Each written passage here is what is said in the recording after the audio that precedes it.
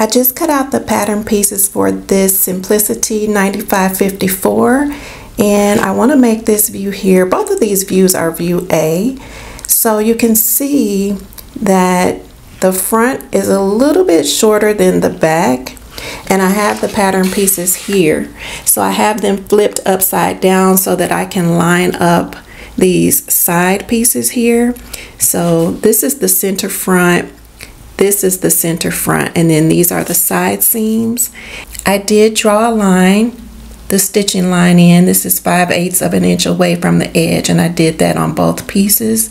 And then I am going to line up these pieces. I'm going to make sure the green lines are on top of one another. I want to have a curve here on the side. So let me show you on the pattern instead of it being like straight down here like this, I want my side to have just like a little curve right here. So what I'm going to do is make a mark about three inches up from here and then I'm just going to draw in a curve and then I'll cut that out and then I will add seam allowance to the pattern and then I'll just cut out my fabric and I'm going to be using this 100% cotton fabric from Joann Fabrics. I use this curved ruler to kind of help me with this shaping here. So now I'm going to just go ahead and cut this out. And I'm also going to cut out a size medium. This pattern does come in an extra small which is what I would normally cut out, but I wanted an oversized shirt. So I'm just gonna go with a medium. This pattern is rated as average. It does have a collar and it has buttons down the front and then it also has pockets. This is how it's looking now on the sides and I'm going to add some seam allowance to this area. I guess I need to leave the weight there and I'm just going to use this paper that I like. I'll link it below if you're interested. And I'm just going to cut some of this and stick it in this area here and add 5 eighths of an inch seam allowance to this area. I added the seam allowance so this is how the pattern is looking now. And then I just kept on going and I ended up just extending the hem here in this area also. So I did it on both sides. The other thing that I want to do is I want to make this a dress. So I am going to lengthen it. And then after that, I should be able to cut out my fabric and get started. Now this is how I am planning to lengthen the pattern because I don't see any lengthen and shorten lines. So I just put the front here and the back here and then I made sure that the necklines were even. And then I'm going to come down under the arm and decide where I want to draw this line. And I'm making sure these are abutted making sure they're touching. And then I'm just going to put my ruler on a line and then I'm going to draw it across and then I will cut it and that way I will be sure that I'm lengthening the pattern in the same area on the front and the back. And then once I cut it and separate it, then I'll add some paper between the two pieces to lengthen it the amount that I want, which for me, I'm gonna do 14 inches. Okay, I'm almost done. I did extend the front piece. This is how it looks with the extra 14 inches included in the pattern. And then I'm gonna do the same thing to the back piece. And then I can cut out my fabric. This pocket piece has a grain line that is on the bias.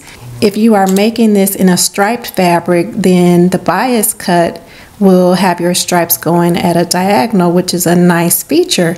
Since I'm using a solid fabric with no stripes, I am just going to have my grain line go straight up and down. I don't have to worry about cutting out on the bias. I just finished working on the front facing area of the shirt dress. I have all this basted down. I've decided that I want to move the front pockets. Since I'm making a dress, I decided to just move the pockets down so they'll be lower. So I have them just temporarily placed here where they're going to go on the shirt dress and now I'm just going to go ahead and start working on putting them together. This shirt has a little loop in the back. And I learned recently that in the 1960s, Ivy League students would wear shirts with loops on the back, and the loops were called locker loops. And they were so that men could hang their shirts in their lockers to keep them wrinkle free when they were exercising. So later, the locker loops became a relationship status symbol. And what the men would do is they would remove the loops on the back of the shirt to show that they were taken or in a relationship. And then their girlfriend, what she would do in return is she would wear his scarf to show that she was in the relationship with him. And I also learned that some of the young ladies would yank the loops off of the shirts of the guys that they liked. Here's the loop and it's going to get basted to the top edge of the back. This pattern has directions for the burrito method and that's what I'm working on right now. And I wanted to mention that the yoke back piece number five was also supposed to be cut on the bias and I just cut mine straight up and down and I used the center back as kind of like my grain line to make sure that the piece was straight on the fabric and I do feel like I saved a little bit of fabric by not cutting this piece out on the bias. This is how everything is looking so far. I really like the way it's turning out. And let me show you the back with the little loop. Here it is right here if you can see that. So, yep. It's big, but that's exactly how I wanted it to be. So I'm pretty much done. I have the collar on. I ended up doing a narrow hem around the armhole opening. Here is the side hem after the adjustment was made in the very beginning. And I also plan to put my buttons on the left front of the shirt instead of on the right as the pattern suggests.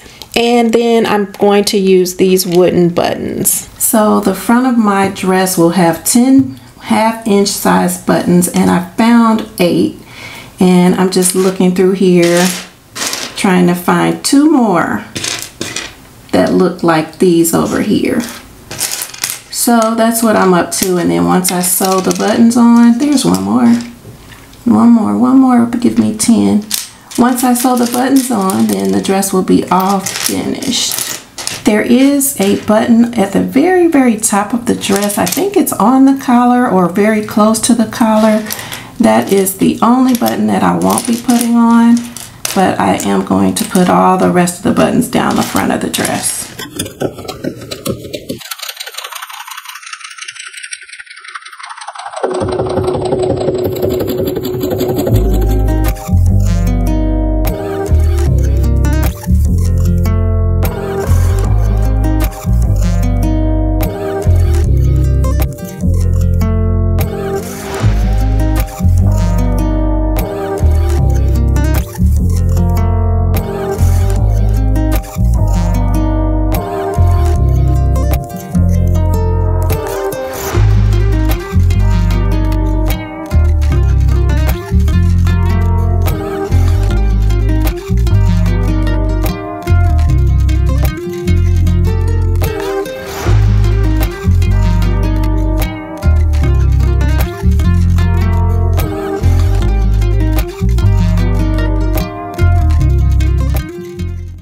have another garment to share with you. I made Simplicity 9550 and I made the shorts. I made these before in a rayon fabric and this time I decided to make it in a cotton denim.